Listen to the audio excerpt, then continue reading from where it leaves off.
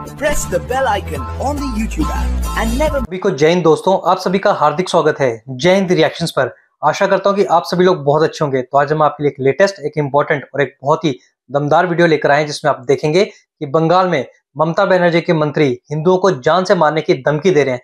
तो इसी मुद्दे पे आप देखेंगे, भारत की दो बहादुर बेटियाँ। एक तरफ़ आप देखेंगे मशहूर पत्रकार अंजू पंकज जी को, जो कि इंटरव्यू लेंगी भारत की बेटी हिंदुस्तानी शेरनी और सुप्रीम कोर्ट की दबंग वकील नाजिया लाई खान जी का। तो ये वीडियो काफ़ी इंपॉर्टेंट होगी आपको बहुत कुछ जानने को मिलेगा। तो इसे अंत तक देखें और चैनल पे नए हैं तो चैनल को सब्सक्राइब कर दें ताकि हम आपके लिए लेटेस्ट इंटरेस्टिंग और दमदार वीडियोस लाते रहें। तो चलिए पहले ये वीडियो देखते हैं और अंत में इसके बारे में बात करेंगे। जय हिंद जय भारत। नमस्कार नाजिया जी बहुत बहुत स्वागत है आपका। नमस्कार Anju ji thank you so much मुझे इनवाइट करने के लिए। वंदे मातरम भारत माता की जय जय जय श्री राम। जय जय श्री राम। ये बताइए कि ममता बनर्जी की पार्टी के नेताओं को क्या हो गया है? इतनी बदजुबानी कर रहे हैं, वो हुमायूं, कबीर, वो भी डरा धमका रहा है लोगों को? मतलब किस हरकतों पर उतर आए ये लोग? देखिए, अंजू जी, बंगाल जो है, पश्चिम बंगाल, वो अब बनने चला है मुगलिस्तान।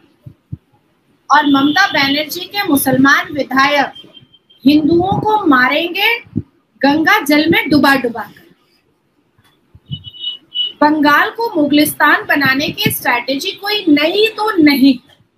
छत्तीस साल लेफ़्ट फ्रंट ने मुसलमानों के हाथ से लकड़ी का पेंसिल हटा करके लकड़ी का कैरम बोर्ड इसीलिए दिया था कि मुसलमानों को पार्टी के झंडे डंडे के द्वारा इस्तेमाल किया जा सके। और ठीक वही सारी पॉइंट्स को श्रीमती ममता बनर्जी ने अडेप्ट किया और उसी रडार पे वो चलने लगी और उन्होंने मुसलमानों के हाथ हाथ में कभी भी लकड़ी का पेंसिल नहीं आने दिया और लकड़ी के कैरम बोर्ड के साथ साथ तो अब विदेशी बंदूक, असलह बारूद भी दिया जा रहा है। हुमायूं कबीर, जो श्रीमती ममता बनर्जी के बड़े जुझाड़ू नेता और बड़े ही अज़ीज़ नेताओं नेताओं में से एक मुसलमान नेता हैं। उन्होंने कई बार अपने दबंगई और गुंडागर्दी की हरकतों से ममता बनर्जी साहिबा को बहुत पसंद किया है बहुत उनको आ, मतलब अट्रैक्ट किया है अपनी तरफ़। बहुत खुशी दी बहुत खुशी दी है हाँ बहुत खुशी दी है उन्होंने। क्योंकि श्रीमती ममता बनर्जी हर उस आ, लोगों का सपोर्ट करती हैं जो हिंदुओं को आघात पहुंचाता है। कभी हिमायूं कबीर साहब भरतपुर के ओसी को मर्डर करने की धमकी देते हैं। कभी हिमायूं कबीर साहब हमारे यहाँ जो आ, 2023 में पंचायत इलेक्शन हुआ था उसमें हुड़दंग और जिहादी एक्टिविटीज़ कराते हैं। कभी हिमायूं कबीर साहब लुंगी वालों को बम छुपाने के लिए देते हैं। कभी हिमायूं कबीर साहब लंबे लंबे कुर्ते वाले को अपने अपने कुर्ते के और पजामे के पॉकेट में राम भक्तों के ऊपर पत्थरबाजी करने के लिए देते हैं। और कल तो अंधेरी रात में जो कभी यूसुफ पठान की विरोध में उतरे हुए थे, कल अंधेरी रात में यूसुफ पठान के पक्ष में ऐसा भड़काऊ भाषण दिया है, ऐसा भाषण दिया है कि पश्चिम बंगाल के जितने भी ठरके आज़म और जाहिले आज़म की फौज थी, वो उनसे बड़ी खुश हो गई। क्योंकि उन्होंने ऐलानिया हिमायू कबीर साहब, जो तृणमूल कांग्रेस के विधायक है, मुसलमान विधायक है, उन्होंने ऐलानिया कहा है कि मुर्शिदाबाद की किसी मस्जिद पर नज़र उठाकर देखे हिंदू तो 30 परसेंट मुसलमान 70 परसेंट हिंदुओं को गंगा जल में डुबा डुबा कर मार कर दिखाएगा। देखिए, पिछले 2011 से 2024 तक में श्रीमती ममता बनर्जी ने पश्चिम बंगाल की जनता को या तो टोटो दिया या अपना बड़ा बड़ा फ़ोटो दिया। श्रीमती ममता बनर्जी ने अपने भाई को सादा ब्लू रंग करने का ऐसा टेंडर दिया कि पूरे पश्चिम बंगाल को उसने सादा ब्लू रंग रंग डाला। लेकिन तृणमूल कांग्रेस के नेताओं का मन काला।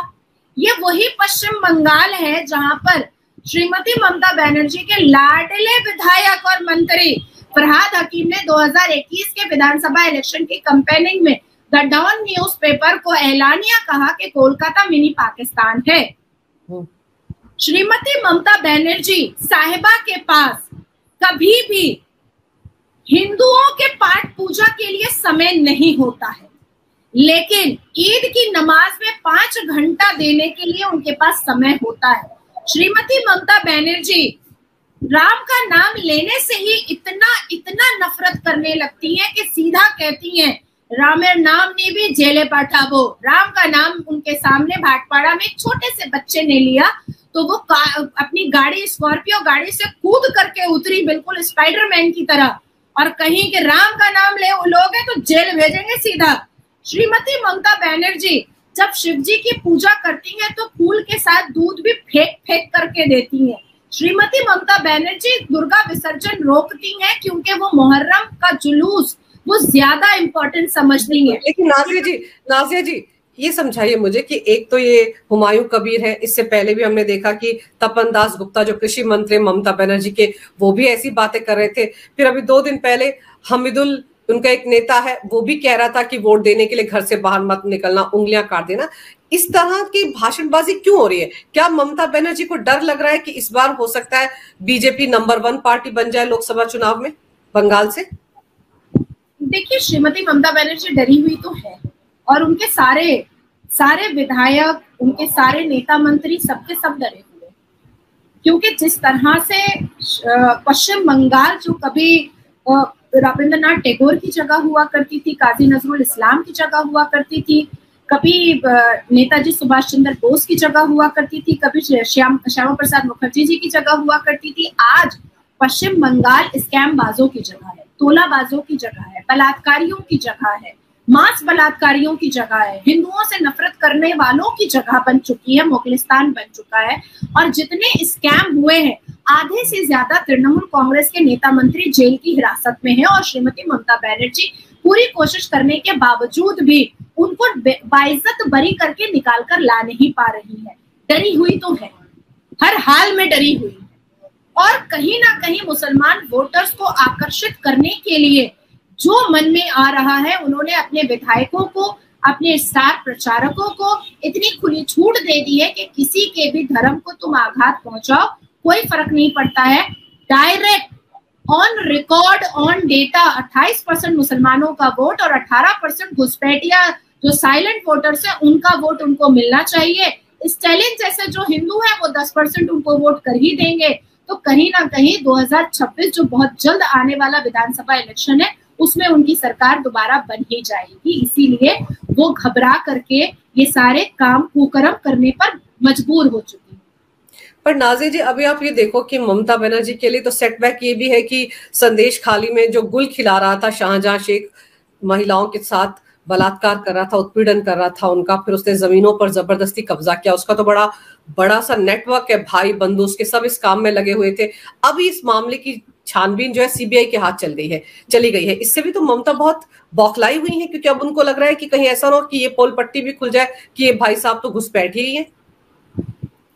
देखिए मैं फिर से कहूँगी कि श्रीमती ममता बनर्जी ने खुद भी आज हिमायूं कबीर ने कहा है कि हम्म। हिंदू बंगाल के हिंदुओं को गंगा जल में डुबा डुबा कर मारा मारा जाएगा हम्म। श्रीमती हमीदुल रहमान ने कहा है कि दो महीना सेंट्रल फोर्स रहेगा उसके बाद हम ही रहेंगे जिस उंगली से वोट करोगे वो उंगली काट दी जाएगी उसके बाद फिर परसों वाले दिन रात में यहाँ पर गौतम नाम का, नाम के मेरे ऑफ़िस से थोड़ा सा आगे पोस्ता की जगह पर गौतम नाम का, नाम के एक एक नेता ने, तृणमूल के नेता ने बड़ा बड़ा भड़काऊ भाषण दिया है कि कुछ नहीं मिलेगा, बिजली, पानी कुछ नहीं मिलेगा, अगर भारतीय जनता पार्टी को वोट करोगे। जो तृणमूल कांग्रेस की सुप्रीमो है श्रीमती ममता बनर्जी और इस राज्य की मुख्यमंत्री है उन्होंने कहा था सर पे आंचल रख करके कि जो भी मुसलमान भारतीय जनता पार्टी को वोट करेगा उस, उसको अल्लाह कभी माफ़ नहीं करेगा। दुर्गापुर के मंच से श्रीमती ममता बनर्जी ने खुद कहा कि भारतीय जनता पार्टी के खिलाफ जिहाद होगा। तो देखिए वो घबराई हुई है। हम्म। ये उनकी शक्ल से समझ में आता है ये उनके स्टेटमेंट से समझ में आता है ये उनकी एक्टिविटीज़ से समझ में आ रहा है कि वो घबराई हुई है। लेकिन इस बात को भी पश्चिम बंगाल की जनता को समझना पड़ेगा कि मुगल का बादशाह जेल में है।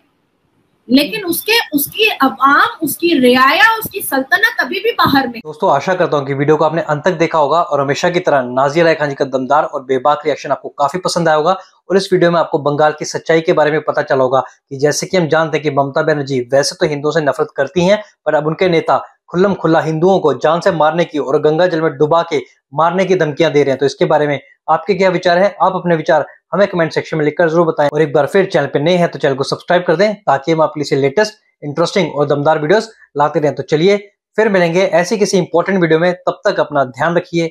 जय हिंद, जय भारत।